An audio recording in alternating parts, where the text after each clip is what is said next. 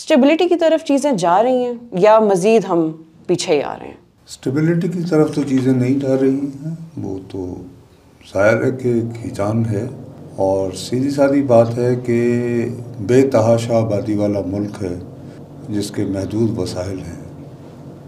और उसमें हमारी जो अशराफिया है, उसने गुज्त कई बरसों से, कई दहाइयों से जो मुआशी मॉडल अपना रखा है उसमें लोगों को ऑन बोर्ड लेने का कोई सिस्टम ही नहीं है शामिल। लेमैन को ऑन बोर्ड लेने का? जी हाँ लेमैन ही नहीं जी मिडिल क्लास आपका क्या मतलब अभी जैसे आप फरमा रही थी कि सोशल मीडिया जैसे मैं हूँ हम्म। मैं देखे ना बहुत सारी चीज़ें हैं अब हम रवानी में तो कह जाते हैं।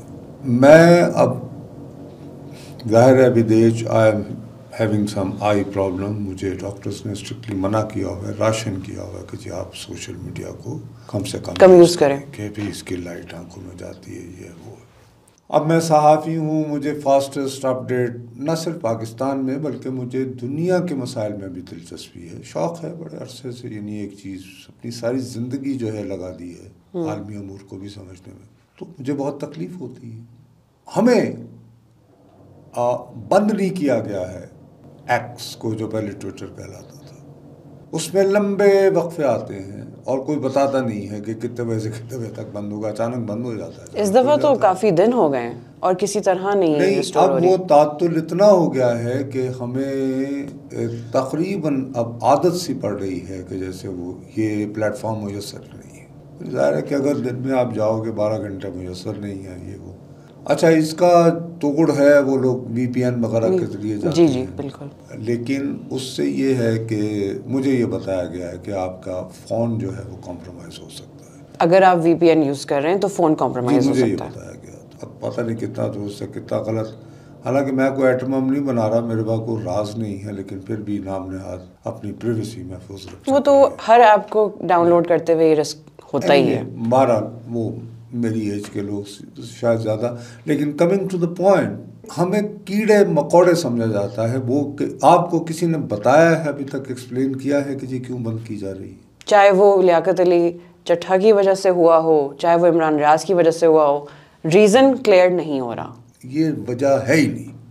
वजह यह है कि जितने आरोज हैं उनकी तस्वीरें लगाकर उनके होम एड्रेसेस दिए गए हैं और कहा गया पाकिस्तान के अवाम ये वो अफराद हैं जिन्होंने आपके मैंडेट को चोरी किया है. मतलब 2024 में धांधी वाला नैरेटिव जी अब दोबारा स्टार्ट हो गया। यानी कि इनको जहाँ देखो पकड़ लो पीटो।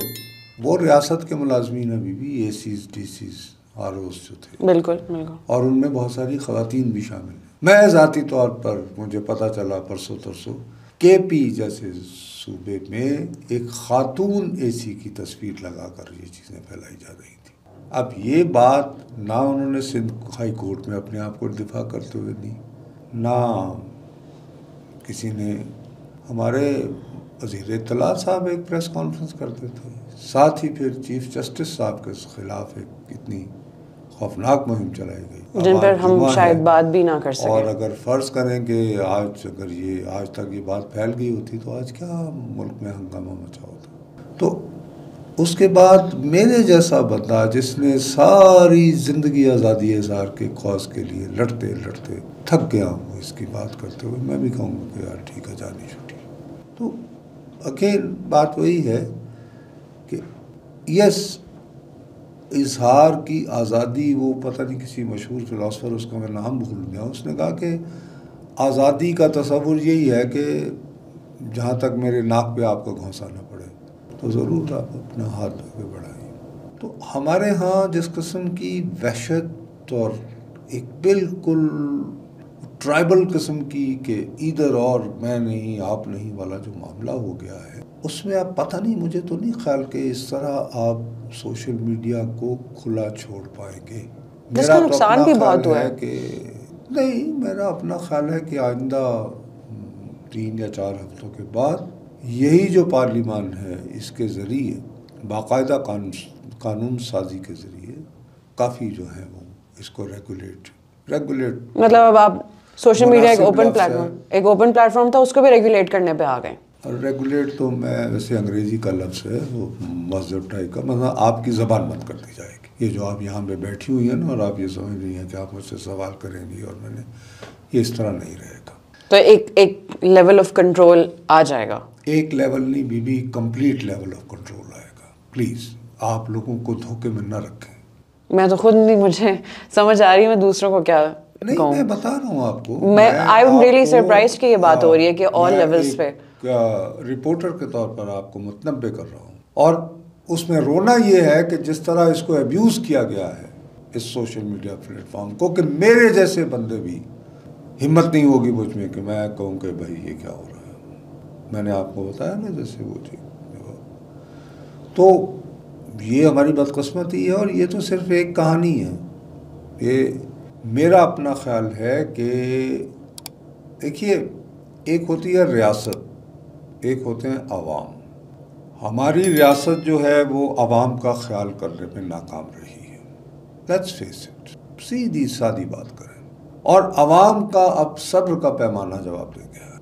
महँगाई ने लोगों की जान ले ली है। और हम जो है वो इसी में कि जनाब ये जमात ये जमात, फलां जमात, फलां हुकूमत, ये हुकूमत ये हुकूमत। अभी परसों ही से ये बात चल रही थी कि जी बिजली के एक यूनिट में सात रुपए इजाफा किया जाए सात रुपए। एक यूनिट में? और गैस की कीमत आप देखें कहाँ पहुँच चुकी है?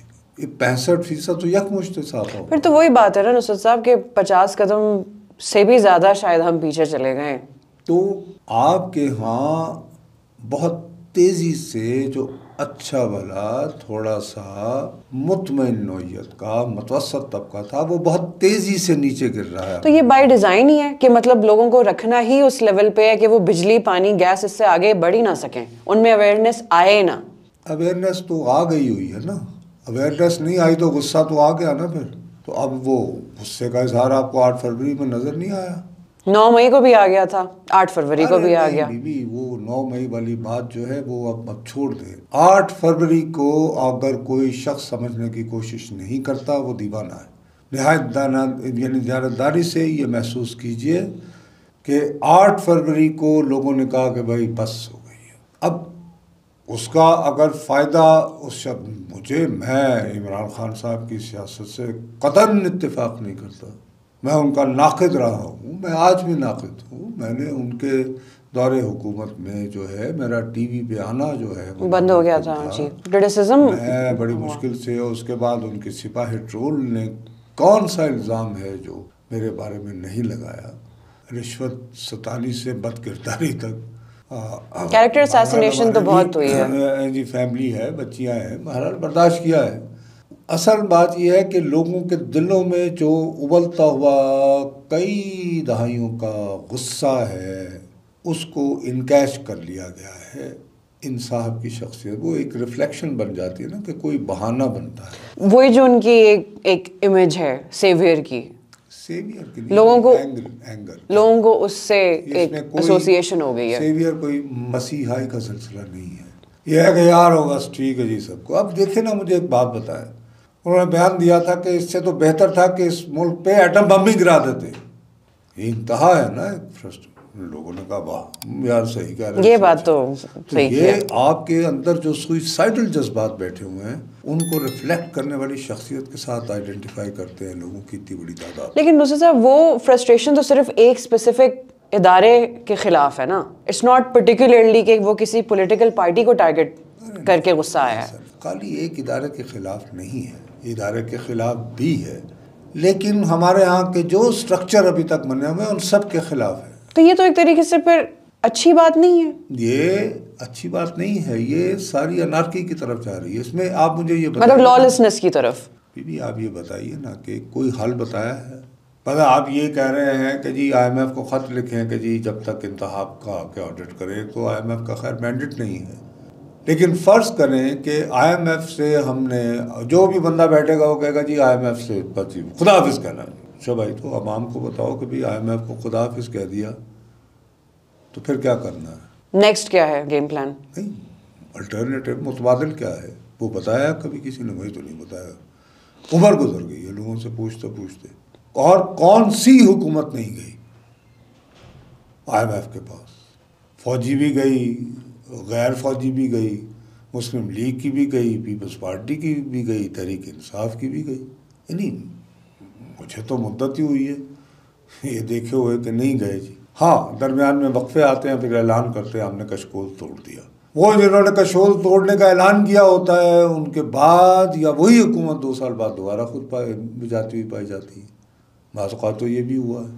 तो मकसद ये कि जिस बात को हम लोग समझ नहीं पा रहे हैं कि पाकिस्तान के अवाम में बहुत वसी पैमाने पर बेतहाशा इसतराब है और वो इसतराब जो है अपनी नक्काशी को बेचैन है। उसका एक जो टूल इजहार का बना है वो तहरीक इंसाफ और उनकी क़्यादत बनी। जो कि इसका ये मतलब नहीं है कि वो सेवियर्स हैं सोसाइटी के वो बस लोगों के लिए एक चैनल बन गया अपना गुस्सा निकालने का जिसकी वजह से फिर उन लोगों ने इमरान खान साहब को पसंद भी किया। इसी तरह अलामत बन जाती है ना बगावत की रिजेक्शन की गुस्से की।